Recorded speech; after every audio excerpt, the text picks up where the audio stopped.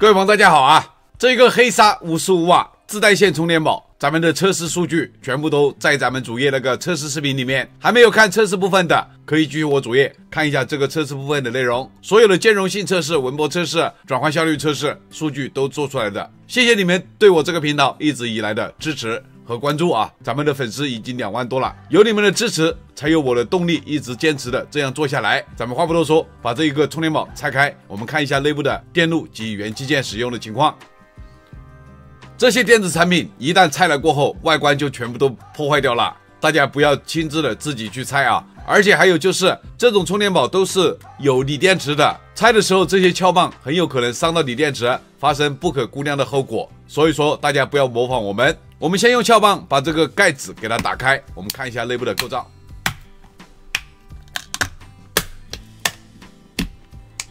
这个盖子已经被打开了，我都不敢撬啊！一旦插进去伤到电芯的话，这个直接就爆了。所以说大家不要模仿我们啊！两块聚合物的电池，上面是主板部分，自带线的地方是通过螺丝压住进行固定的，非常牢的啊！这个要把它扯断的话，要花很大的力气了。卸掉固定主板的螺丝，非常厚的一块硅脂散热贴，靠在这个地方，通过这个导热装置导在外壳上面进行散热。主板可以拿出来，但是这个线挂住了，我们把这个自带线给它卸掉。这个是固定自带线的一个钢制的卡簧啊，底部还有一个加厚的一个散热硅脂贴，拿出导热贴，底下还有一个加厚的石墨烯的导热装置，这个散热做的不错啊。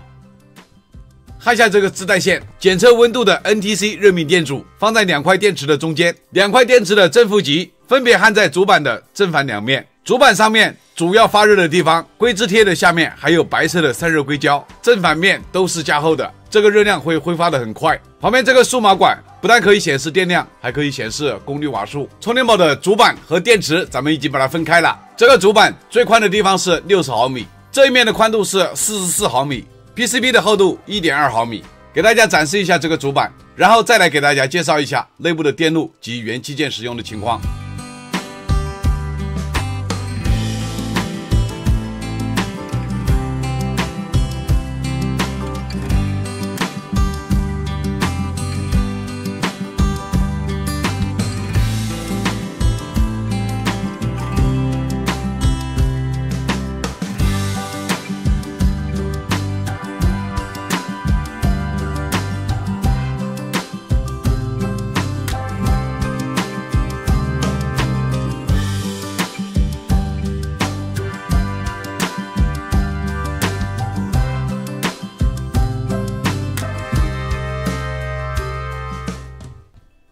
这个充电宝内部芯片采用的是一颗主控，控制一路升降压电路，三个充电口输出的模式。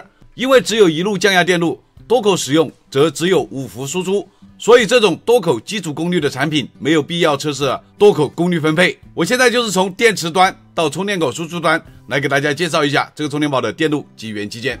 首先是电芯与保护系统，这个是供电基础。这款充电宝内部采用两颗聚合物电池，来自东莞格林德能源有限公司。每颗电芯的容量为一万毫安，能量值是三十六瓦时。电芯是经过三 C 认证的。这一家公司成立于二零一七年，主要产品主打是软包锂电池，是华南地区有代表性的一个电芯制造企业啊。它的产品广泛用于消费电子与储能市场。电池保护部分搭载一颗适应为四 D 一 NB 一的电池管理芯片。负责过充、过放、短路、过流等保护功能。这个芯片咱们没有查到厂家。同时搭配两颗零六零 N 零三 MG N 沟道模式管，用作电池侧的电子开关，确保电池异常时候能够快速关断回路，保障电芯与整个系统的安全。这两个开关管也没有查到厂家。主控芯片及供电设计，接下来就是整个主板的核心控制部件。主控芯片的供电稳压模块选用了来自江苏无锡润石科技的 RS 三零零二线性降压稳压芯片。芯片的适应型号是 SD 三三 S，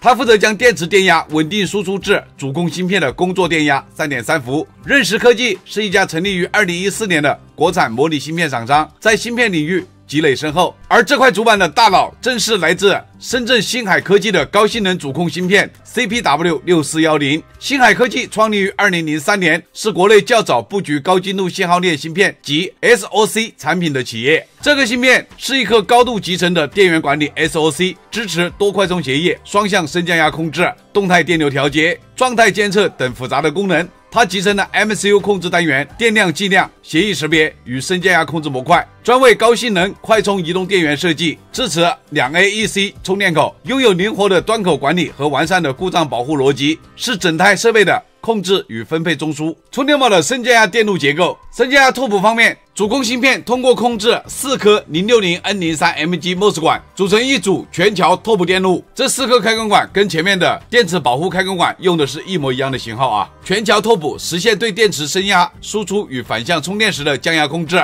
这种拓扑能在在充电与放电之间实现高效率的切换，满足多口输出与快充的需求。整组升降压回路在电源两端布置了深圳泽凯新电子的二百二十微法二十五伏的固态电容，以及多颗 MLCC 贴片电容进行输入输出滤波。这家电容公司成立于二零零七年，产品覆盖各类电容类产品。这里为一组滤波电路。这是另外一边的滤波电路，主升降压电感采用的是三点三微亨的贴片电感，配合每端两颗 SS 三四的肖特基二极管进行快速整流。同时，升降压电路的输入和输出端各设有一颗二零幺零的白色的贴片采样电阻。提供精确的电流监测数据回传给主控芯片，实现稳压跟限流控制、输出控制与保护机制。在输出接口部分，这款充电宝集成了多重保护与智能分配。自带线口与 Type C 口各使用一颗零七五 P 零三 MT PMOS 管作为 V-Bus 开关管，A 口使用两颗相同型号的 PMOS 管组成双路控制。所有的充电口都配置有 ESD 静电防护二极管，防止用户拔插时造成电击。零欧姆的电阻承担基础输入限流和保保险作用，两个 C 口都有，这里还有这里有一个适应 BJ 杠 V 的稳压二极管，用作过压保护，两个 C 口都配置有。A 口还单独配备一颗 R 零幺零采样电阻，用于精准控制 A 口的输出电流，辅助主控动态调整功率。充电宝的两个 USB 连接器，一个 C 口，一个 A 口。内部的折片的细节，大家看一下，做工还是可以。A 口的外壳用的不吸磁的铜质材料，C 口的外壳用的不锈钢的材料。这是自带线口外面的绿色编织网布，这个很结实的啊。自带线口内部的细节，充电宝的壳体上面没有看到 PC 阻燃标识，我们后面燃烧测试，这个盖子上面也没看到有。总结一下这款黑鲨五十五瓦自带线充电宝的核心优势啊，从上期测试视频来看，实打实的两万毫安的双电芯。给两部安卓手机、一部苹果手机充满电都不在话下，电源品质、输出文波压制非常的极品，实测都是在五十毫伏以内的极品水平。这个对手机电池寿命、电路保护都是有实打实的帮助的啊。从内部来看，它采用的是星海科技 CPW 六四幺零的主控芯片，搭配全桥升降压结构、两级滤波系统，整块主板结构清晰、逻辑缜密。如果把 MOS 管换成品牌货，这家伙表现会更上一层楼。当然还有这个外观一体化自带线加多口输出的设计，再配上黑鲨经典的赛博风格的外壳，兼具潮流与实用，特别适合年轻用户和重度的数码党。咱们的测试和拆解全部都做完了，喜欢咱们这种硬核测试和拆解风格的老铁们，记得一键三连，点赞、关注、投币走起来！你们的支持就是咱们这个频道更新的动力。谢谢大家的观看，咱们下期视频再见。